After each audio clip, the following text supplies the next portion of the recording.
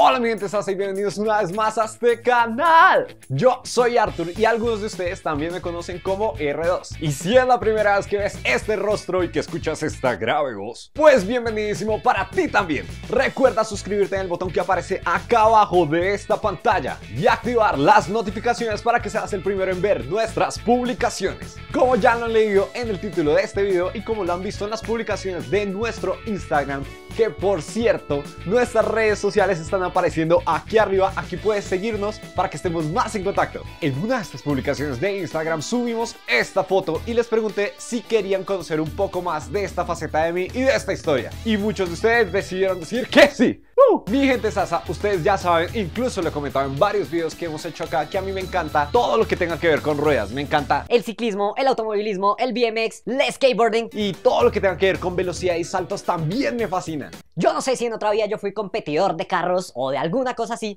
Pero el caso es que cada vez que estoy metido detrás de un volante o conduciendo o compitiendo o algo, me encanta, me apasiona, me parece lo máximo.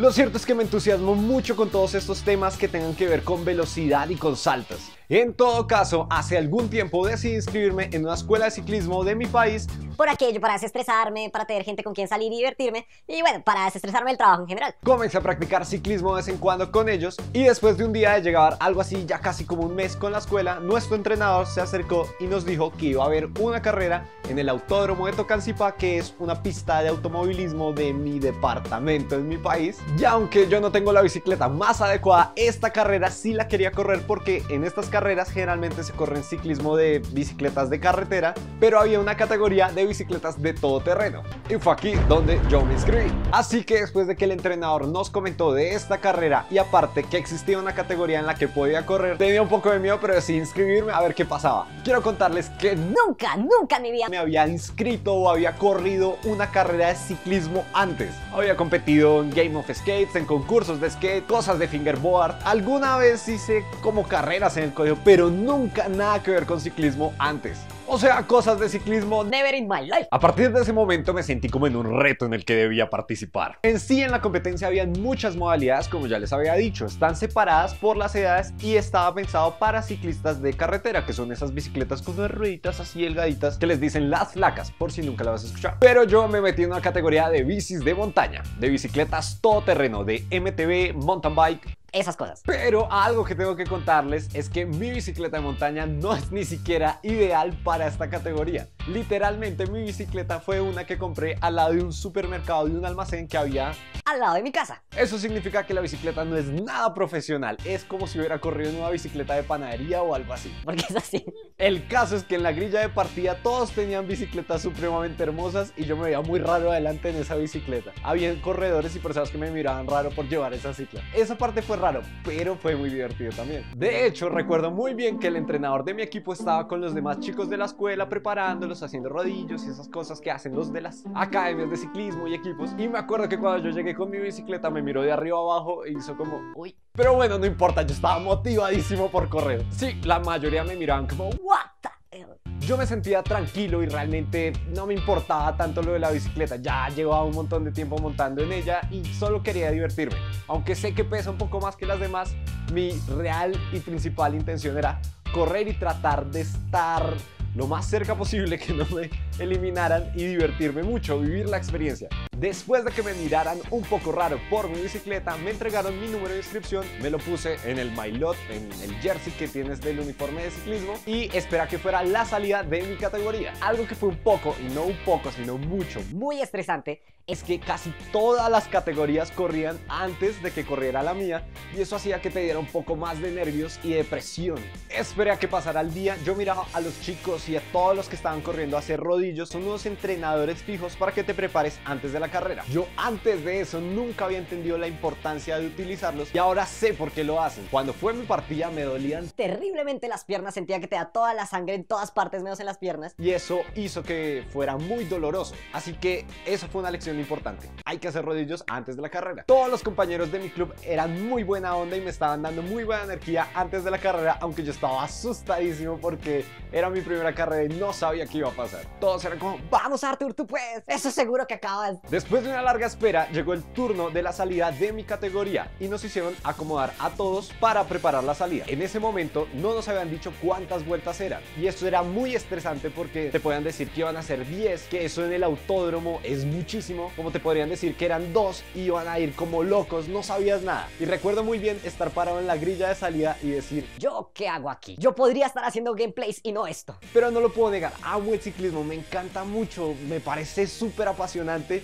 y tenía que vivir la experiencia, así que estaba asustadísimo y estaba buscando razones para seguir ahí y salir y competir. El comisario, faltando como un minuto para salir o menos, nos dice que vamos a correr cinco vueltas y a partir de eso se sentía como entre todos los que íbamos a correr de ahí un poquito de presión. Habíamos dos que teníamos bicicletas que digamos no eran muy profesionales, pero el resto iban en unas super bicicletotas de montaña. Yo me acomodé en la parte más delantera, la verdad No sabía, yo no sabía si hacerme atrás o hacerme adelante, no tenía ni idea. Pero yo no sé, por salir en la foto yo me hice adelante y porque creía que si me hacía adelante, como mi bicicleta es un poquito mala, iba a poder recortar la distancia y no me iban a dejar botado tan pronto. la verdad. En ese momento tenía mucho, mucho estrés y no sabía ni cómo arrancar. Uno no sabe ni en dónde poner los cambios, le tiemblan a uno las piernas y es muy raro. Los que están a los lados tuyos empiezan a hacer... Y eso te genera más y más presión. Yo todo un skater o un fingerboarder, yo no sabía qué hacía ahí metido, pero ¡buah! Debía haber hecho gameplay si no eso. Sé que ustedes me habían dicho que hiciera gameplay. El comisario de la carrera hizo algo que yo no me esperaba y que fue muy malvado. No nos dijo, Salen 5, faltan 3, 2, 1. sino de un momento a otro se corrió y ¡ya! Y todos estábamos mal acomodados y fue como ¡ah! ¿Cómo será que la persona que me acompañó a grabar ni siquiera se lo esperó y por eso no está filmado el momento de la partida? todos quedamos como ¿what? Y en el momento de la salida se siente como, ¡buah! se siente yo no sé, como si, es como si te jalara algo muy duro y estuvieras distraído, es como, ¿qué? Durante la primera partida de la carrera fue muy, Es que fue muy raro. yo las veces que había entrenado ciclismo pensaba que arrancaban lento y que no era tan duro. Uno miraba, no sé, el Tour de Francia por televisión y arrancan pasito y eso. Y no, acaso no es así. Salían a muerte, salieron a matarse entre ellos. Yo nunca había experimentado tanto dolor y tanto sufrimiento en mis piernas. En ninguna competencia de skate había sentido el dolor tan terrible que queman las piernas como sentí en la salida de la carrera. Recuerdo que bajaron el ritmo hasta pasada la primera curva del autódromo. Vi tú que había como 500 metros. Era mucho tiempo pedaleando un ritmo muy, muy duro. Y el que arrancó muy duro era el que estaba al lado mío en la partida, que sale así en la foto como así. Él salió muy duro, éramos todos tratando de perseguirlo, alcanzarlo a él. Recuerdo que habían unos grandes que pasaron al frente muy rápido. Cuando yo miré atrás tenía un rosario de niños, digamos como de chicos más jóvenes que estaban todos detrás mío cortando el viento. Y yo les hacía señas como de... Ey, ayúdenme. O sea, si me quedo yo nos quedamos todos, eh. Y en ese momento se empezaron a quedar y se empezaron a morir. Arrancamos como 15 y cuando íbamos para la primera vuelta quedábamos como la mitad. Estas son las cosas que aprendí del ciclismo que son duras. Es un poquito duro darse cuenta que nadie te iba a ayudar y que todos los duros así que te dan un montón de experiencia se habían escapado y iban allá adelante. Yo hacía mi mayor esfuerzo por conectar y por tratar de llegar al frente. Ya íbamos llegando como a la mitad del circuito. Cuando miré atrás de todos esos chicos que venían ahí a rueda escondidos cogiendo rueda mía para cortar el viento, solo quedaba uno. Él ya fue como... O sea, ya, ayuda, por favor. Y entonces él dijo, sí, sí, sí. Me acuerdo que pasó por el lado y me dijo, vamos. Haciendo bola de nieve. Hasta el día de hoy no sé qué es bola de nieve. Yo me imagino que es como ir en relevos o algo así. Pero yo sí, sí, bola de nieve, lo que sea. Y entonces nos fuimos ahí, tal, tal, tal. Estaba el equipo de él alentándolo. Y él se emocionaba mucho. O sea, los relevos lo hacíamos de tal manera que yo daba la mitad del circuito y la otra mitad lo daba a él. Cuando le tocaba a él dar el relevo y pasábamos por la parte de adelante del circuito, se emocionaba mucho y salía y daba así un montón de velocidad. Como para salir en la foto, como ¡Wow! Y eso a mí que iba detrás y que ya venía haciendo un esfuerzo infernal me costaba mucho. Era como, No, ¿por qué lo haces? ¿Por qué? entonces me empezaba a cortar, a cortar. Y cuando terminamos la primera curva, otra vez le bajaba el ritmo y otra vez dejaba yo que llegara allá. Hubo un momento en que me cansé después de dos vueltas con él y le dije, ya, vete tranquilo, vete tú en tu ritmo, en tu cuento. Yo voy a seguir como pueda. Y a partir de ahí se volvió una competencia de mí para acabar solo y no quedar fuera de los tiempos. Como les dije, yo miraba atrás y en ese momento apareció la moto del comisario de carrera. Y yo dije, ostras, Ostras, voy de último. me quedé último en la carrera y no sé cómo. Y yo había pasado. Y lo que había pasado es que la mitad de los corredores habían quedado todos expulsados por tiempo. A partir de ese momento se volvió para mí como una contrarreloj de no dejarme sacar de los tiempos. El comisario iba en la moto y miraba el reloj y yo iba al lado. El viento en el autódromo es mucho, es terrible. En el ciclismo eso no pasa en el skate, no pasa en nada de lo que había practicado antes. El viento en el ciclismo importa mucho. Digamos que otras cosas no importan, pero el viento importa demasiado. El autódromo es un terreno donde no hay nada, no hay árboles alrededor. Entonces cuando sopla el viento y el viento de Cundinamarca es bastante duro, hay que hacer mucha fuerza para poder soportar y aguantarse. Ustedes van a ver las tomas del video y yo me voy a ver así. Como si fuera de pasar. Pero por dentro lo que yo iba sintiendo era como... Yo ya tenía el corazón como por acá en la garganta y todavía no acaba, todavía me faltaban dos vueltas. La verdad, la verdad, recuerdo bien que faltando la última vuelta, yo no sabía en qué vuelta iba, yo no sabía si faltaban más. Salieron compañeros de la escuela y de otros lados a gritarme, vamos que le falta una, no sé qué. Entonces a partir de ahí como que, ah, como que me dio un poquito más de fuerza para acabar. Los que salieron adelante se organizaron como en un paquete y para no hacerlo muy técnico, cuando varios se ayudan, pueden ir más rápido y el esfuerzo no es tan terrible. Y cuando vas solo es muy duro, no puedes alcanzar tanta velocidad y tienes que hacer todo, todo el trabajo y todo el esfuerzo tú solo. Al final cuando llegué con el comisario, yo dije, voy de último, soy el último, acabé último.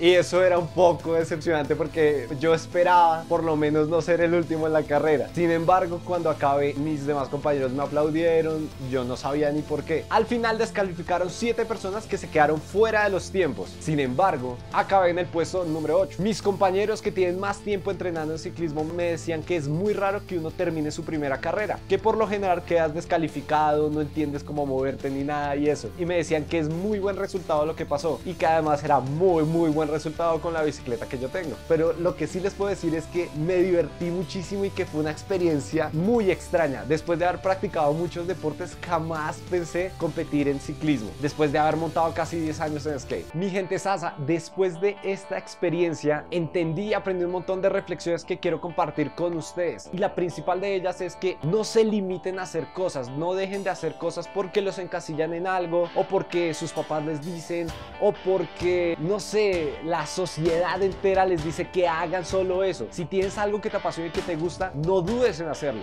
Me saqué esa espinita de competir en ciclismo y me encantó, fue genial. Entonces, una de esas cosas es no se limiten, no dejen que los demás los limiten, hagan lo que realmente aman. Si tienes algo que realmente te apasiona, hazlo, no importa el resultado. La verdadera ganancia está en intentarlo. Es como esa frase de es mejor intentarlo que quedarse con la duda de qué hubiera pasado. Escriban en los comentarios si les gustó este video y qué otros temas de ciclismo les gustaría aprender o experiencias o cosas de ese estilo. Quería compartir esto que pasó hace yo no me acuerdo cuánto, como dos meses, ya no sé cuánto tiempo ha pasado, pero fue genial. Y antes de irnos, jamás se nos olvida a nosotros nuestros queridos y lindos saludados. Luce SG. Nataloide. Yavi. Pacuravena 92. Y si tú quieres ser el próximo saludador, recuerda que solo debes suscribirte a este canal, que aquí somos chéveres, activar las notificaciones para que no te pierdas toda esa información que sacamos recién así fresquita del horno sobre skate, fingerboard, cruisers, deportes de todo estilo. Seguirnos en nuestras redes sociales, que por cierto, muchas gracias a los que me escribieron en Instagram y Facebook por mi cumpleaños, que gente tan linda todos. Los adoro. Y no olvides dejarnos tu saludito en la última publicación de Instagram. Y aquí están los videos molones y geniales que han llegado a nuestro hashtag de R2 Trick Challenge.